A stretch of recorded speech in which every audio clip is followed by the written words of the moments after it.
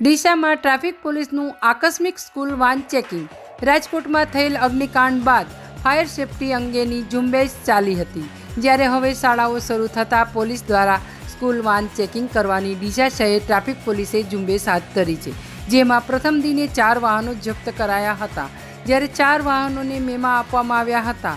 રાજકોટમાં ગેમ ઝોનમાં અગ્નિકાંડ થયા બાદ સફાળી જાગી ઉઠેલી સરકારે રાજ્યભરમાં શાળા, કોલેજો, ટ્યુશન ક્લાસીસ, મોલ, હોસ્પિટલ, કચેરીઓ, જાહેર સ્થળોમાં ફાયર સેફટીની સુવિધા છે કે નહીં તે અંગેની તપાસ હાથ ધરી અનેક એકમોને સીલ કર્યા.